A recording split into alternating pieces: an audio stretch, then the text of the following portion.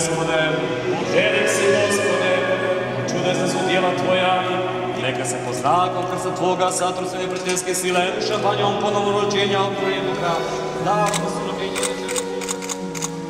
da hodi putem zapovesti Tvoji. Kako se Krštava se sluškinja Božja, Nikolina, u ime Otca.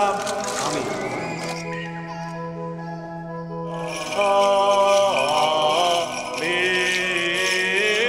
Mir svima i duhovi Tvojemu. Čitam ime Otca. Amin.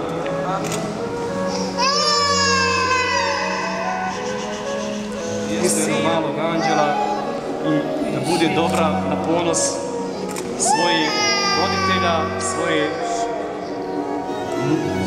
svoje svetosavske vjere, pravoslavne vjere.